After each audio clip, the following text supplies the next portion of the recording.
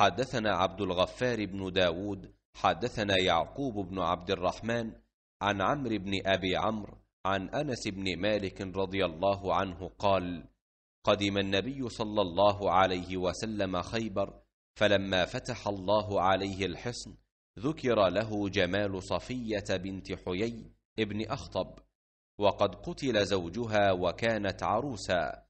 فاصطفاها رسول الله صلى الله عليه وسلم لنفسه فخرج بها حتى بلغنا سد الروحاء حلت فبنى بها ثم صنع حيسا في نطع صغير. ثم قال رسول الله صلى الله عليه وسلم آذن من حولك. فكانت تلك وليمة رسول الله صلى الله عليه وسلم على صفية. ثم خرجنا إلى المدينة قال فرأيت رسول الله صلى الله عليه وسلم يحوي لها وراءه بعباءة ثم يجلس عند بعيره فيضع ركبته فتضع صفية رجلها على ركبته حتى تركب.